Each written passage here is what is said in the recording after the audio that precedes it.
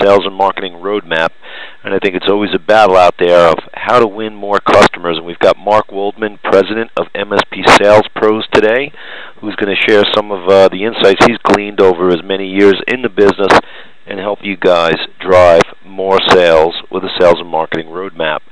Uh, my name is Len DiCostanzo, Senior Vice President of Community and Business Development always like to share that I was, in fact, a solution writer for about 20 years of my life. I started uh, my business way back in the 80s, early 80s, or actually mid 80s if you want to uh, kind of get really close to it. So I've been around quite a bit.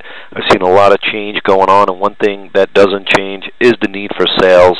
And uh, once we get through the a quick Autotask overview, we're going to jump right into Mark uh, and get him into his topic of how to win more customers with the sales and marketing roadmap. Then I'll have a wrap up. We've got a couple of special offers, and we'll jump into a question and answer session. And please feel free, as Rich said, to type your questions into the chat box, into the Q&A box throughout the session. This way we can actually check them out, maybe actually answer them while we're running through uh, the webinar and certainly be a little bit more prepared at the end. So first, just want to give a quick uh, Autotask overview and let all you guys out there who do not know Autotask give you a little bit about it and hopefully for our users, our clients, maybe shed a little bit more light on where we're headed. Uh, Autotask is the number one provider of cloud-based IT business management software. We've been in business since 2001, and we've been in the cloud since 2001. And while everyone's got uh, a lot of there's a lot of excitement out there about cloud, uh, there were certainly uh, quite a few names before we got to a cloud-based uh, name. We used to be called an application service provider, uh, SaaS, and here we are now a cloud vendor very focused on providing service automation to the solution providers out there, the IT service providers, managed service providers, all of you guys out there delivering IT service. Autotask is for you. Again, all about service automation, but it does start with winning new business. So, right in our CRM module, as Mark goes through his session, some of the very things he's going to share with you, you can use our CRM module to help you market out to your client base, manage your sales pipeline, build quotes that actually fill that pipeline, and hopefully you're going to quote some projects out there and win some good one-time revenue before you move into a, a managed service or recurrent type revenue uh, relationship. And you can use our project module to manage that project, collecting all time and expense against your project. Make sure you're profitable. Perhaps you want to change your pricing next time you execute on that project. But our project module gives you phases, tasks, all the abilities that you have to manage a project. And once you're done with the project, send out that invoice. In fact, if you have a flat fee project, you can do one, two, three, multiple invoices tied to phases and tasks and really show your client that you're on top of things and following progress along the project and only sending that invoice when you know you've met a milestone or, or a, a key date. And again, once you're done with that project, you move into that support role. Use the Autotask service desk to open tickets, collect time and expense against those tickets, and whether you're going to bill in a time and material mode, perhaps you're going to bill incident based, uh, or maybe you're going to bill against a recurring service contract, no matter what your billing relationship is in that support mode, you still need to collect time and expense and always validate profitability. And once you collect time and expense, use Autotask to send out the invoice, or you can hand off the time and expense to your accounting system and create the invoice out of your accounting system. And while Autotask is all about service automation and helping you scale and automate service delivery, we do understand there's lots of you out there selling product, and we've partnered with a lot of quoting vendors out there to give you advanced quoting, e-sourcing, procurement capabilities, and storefronts. And you can take a look at our website and uh, see which vendor is for you and what solution fits your needs. We also know uh, we're not alone, not just on the quoting side, but we also have lots of integrations with monitoring applications, platforms that you're using out there, backup disaster recovery, all different kinds of accounting systems.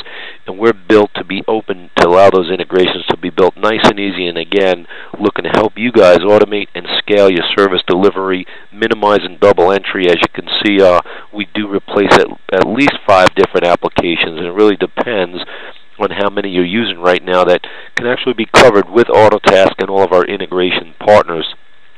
And we're also uh, we also understand that you guys have your own network out there that you work with.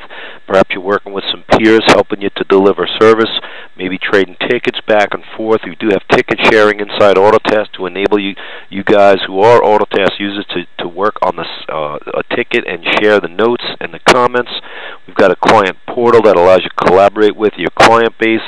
A fantastic way for your clients to see what's going on on a particular ticket, open new tickets, see outstanding invoices, project tasks that maybe they have been assigned through the project module, but giving you a great opportunity again to collaborate with your clients. We've got TaskFire, which is basically the client portal uh, on steroids in a good way where those internal IT resources can use TaskFire and actually have their own internal ticketing system and service user requests from the client portal and automatically pass you work that you do for them or work that they can't do. And if it's a one-man shop, uh, they can automatically let you handle the account while they're on vacation or they're out sick. So take a look at TaskFire if you're working with internal IT resources and they don't really have a good ticketing system. We've got an online community in Autotask, over 50,000 users now, uh, all registered inside the community, sharing best practices, working together, and uh, sharing how to use Autotask the best way they can in their business. Autotask is global, over 200 employees in New York, London, Beijing, Germany, and Australia. Uh, our headquarters here in New York in East Greenbush, where I am coming to you from on a nice sunny day. Uh, we've got a pretty large office in London for those of you who are international, with customers in over 55 countries, and that is going. We've translated our product to various languages. I always like to share that. People go, why? Because as we enter new markets, we're going to gen generate more revenue, and we are always putting more than 50% of our revenue back into the product. And as we've translated to Japanese, German, Spanish, French, uh, and Italian, we're going to be able to service more clients in more markets and generate more revenue. So the Autotask community will continue to thrive uh, going forward as we grow our product and, and grow across the globe. We've got data centers in the United States and in the UK, and more are coming as we uh, look to spread our data and uh, give you guys more redundancy. We've put millions of dollars in our data centers as it is, and uh, we continue to invest. Autotask is open. Uh, you can we are browser independent, so you can pretty much use Autotask in its entirety across any of the browsers that you're using today. And we also like to say anyone in your organization can use Autotask, not just billable resources, but your admins, your executives, your sales reps. Uh, you don't have to bill to make use of Autotask, and the key is whoever works into Auto in Autotask, all that data is going to be collected in one place and give you a fantastic repository for institutional data that you can have forever, no matter where your employees go. We're open in the middle, we like to say as well because you can configure Autotask to run the way you run your business. A lot of configurable workflow rules giving you the opportunity to make data flow as you want it to flow from CRM to Service Desk and on out into your client base. And uh, we're also open on the back end. I mentioned a few integrations earlier, but all of the solutions that you work with today and deliver to your clients, we've got an integration uh, with one of the key vendors or multiple vendors in that space. So uh, take a look at Autotask because we know we're not alone. We are open and we let you operate your business the way you want. And again, as that hosted application, once you buy Autotask, you're up and running uh, within 24 to 48 hours. We're putting out new releases pretty much every six to eight weeks. So as I mentioned, we're putting 50% of our revenue back in the product. You're going to see a lot of new features uh, show up in Autotask when you use it, and of course you can use it or not, and uh, tons of education to help you learn the product. Over 25 live webinars and workshops every month, not only on the product but on business building efforts, just like we have today on uh, building your sales pipeline. Uh, with Mark, we've got over 120 on-demand product training videos, as well as uh, many hundreds, if you will, recorded webinars from pricing and building your catalog and service delivery, SLAs. Uh, check out our website, as Rich showed. You can see a whole bunch of those, holding boot camps and road shows as well. So one of the key things uh, you're looking for out there, you want to build up your client base. Uh, you don't want to be limited to how many clients you can manage, and one of the key things that Autotask brings to the table, along with Continuum, who's uh, sponsoring the webinar today, is a lot of automation. So an event uh, that may come about from Continuum's RMM, uh, putting a, an alert that goes out to the Continuum NOC, that will automatically open a ticket inside Autotask. A client portal uh, a user will be able to open a ticket automatically inside Autotask. An email can come in, open a ticket, and you can also open a ticket manually. But however you do it, it's very quick. In fact, it's automated when it's coming from Continuum, the portal, or an email. And in fact, a user call, you can open up a ticket inside of two clicks. And once that ticket is open, a lot of those automation features, a lot of those workflow rules that I talked about that allow you to configure Autotask to work the way you do go into effect. Automated assignment of ticket to perhaps the engineer that's assigned to a particular account or a particular type of an issue. Notifications out that you've received that request. Uh, and again, to any of the resources, customers, or contacts that need to know. And the nice thing is, as you're moving into managed services, or if you're just looking to provide fantastic service, you're going to promise a response window, uh, something like I'm going to respond within three hours, I'll solve the problem in four hours, and that SLA clock starts ticking inside Autotask and help you prioritize your work so that you can finish what you're doing and then jump into that next incident when you're ready and not necessarily let the client prioritize your work. And of course, as you open that ticket, we talked about collecting time and expense. Autotask gives you that opportunity to collect all the time and expense against the ticket, and then as you're done with that, enter in the timesheets, approve and post that time, and send those invoices out again, either through Autotask or through uh, your accounting system. And if, once you're done sending out those invoices, nice, easy way for you to validate profitability. Tons of reports coming out of our live reports engine, customizable, automated, a lot of information at your fingertips. And as you're running through that incident management process, I mentioned response windows three key metrics response time, resolution plan, resolution time, all inside Autotask set up in an automated way so that perhaps your server response time can be two hours, your end user non critical can take, uh, uh, you can provide perhaps a four or six hour response. The key is key metrics that you can monitor, measure, and manage to allow you to improve service delivery, and more importantly, help you validate that you are in fact doing what you said. And uh, right here, you see an SLA report.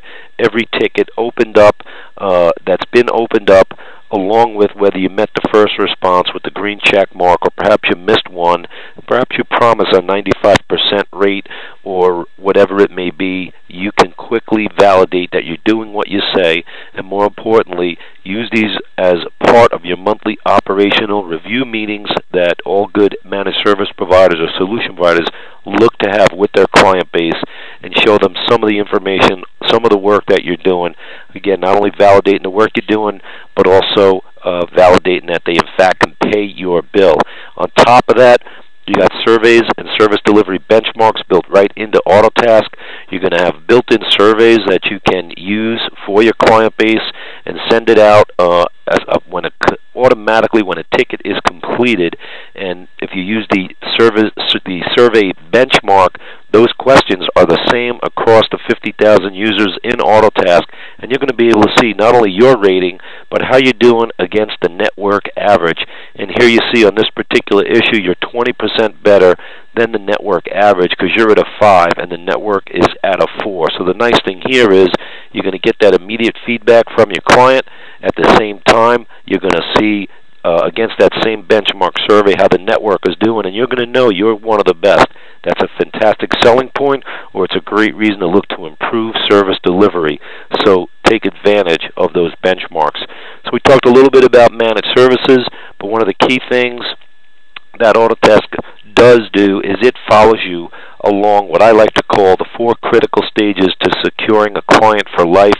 Mark is up in a second, and he's going to share some sales tactics and all of the sales and marketing uh, that Mark's going to share, you can start with Autotask because we do, again, help you along these four critical stages. So, again, I mentioned managing your pipeline with sales and marketing and building your pipeline, dropping in your solutions and using the project module to manage uh, to success, and then moving into that support role, whether you're delivering managed services, time and material, whatever it may be, and over time, using the client portal, using TaskFire, uh, using the integrated products that come uh, that work with Autotask, ascend into that trusted advisor role or become that IT department for that SMB client and do it over and over again and maintain that relationship for life. It's tough enough to win a new client. Why don't you hold on to it and have all the tools in place that give you that opportunity? So again, Autotask is not only good for managed services, but really for any solution provider, service provider, consulting firm, ISV out there, because we do stay with you across the four critical stages to securing a client for life. So hopefully uh, I shared a little bit of information that's valuable to you. It brings me to Mark Woldman, president of MSP Sales Pros. We've been working with Mark uh, for a couple of years now. Mark's been out there over 10 years in the industry helping MSPs transform their sales and marketing to drive business to the next level. Mark, thanks for joining us today. Really looking forward to hearing what you have to say. Hey, thanks for the, the intro, Len, and very happy to be here today. So, for those of you who have seen our webinars, our, our goal here is to bring you a tremendous amount of information in a very short time. Um, this isn't going to be a sales pitch. I have nothing here um, to sell to anybody, just a lot of training, a lot of good information to get you going down the right path to start landing more customers. And it's one of the things our clients do on a consistent basis is um, bring new customers on board, follow a process, follow a routine, and get the job done. So we'll move through the content fairly quickly. I like to uh, reserve enough time at the end for questions. We tend to get a lot. Mark. Also, if you have the slides that have, if you all looks like we're moving okay now. All right. So um, why do we need a roadmap? Again, apologize for the technical difficulties there. But the, the reason we need this roadmap is we have to be able to stop the confusion.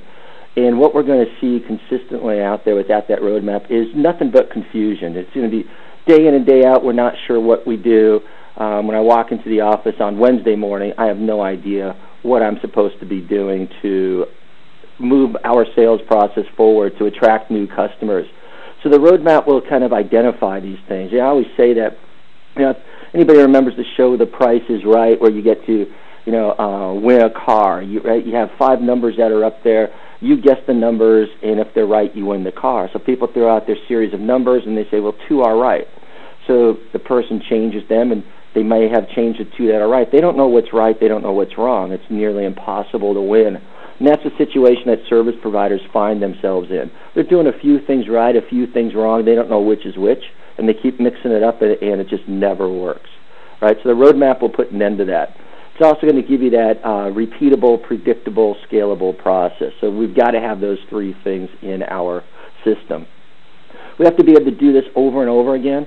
We have to be able to predict uh, what those results are going to be, and we have to be able to scale it. And that predictability piece is really critical to your business. As a business owner, you need to look at your pipeline and say, this is what's coming in. And we're confident um, that we're going to have these opportunities close within this time frame. So if we need to bring on more technicians, we're prepared for that, right? We know how to do it. We know when we're going to be growing, so we can do those things. Um, it's kind of the layout of the roadmap, right? We've got four keys to the success here. We've got focus, we've got the solution phase, the planning phase, and the execution phase.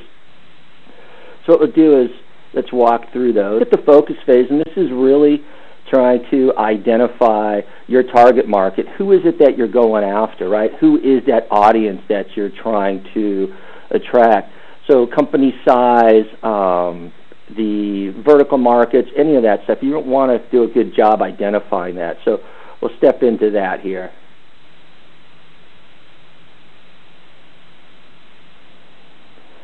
All right, so checkpoint one, the focus. And guys, I really do apologize for the technical difficulty. It just keeps flashing on my screen and it takes a minute to update here.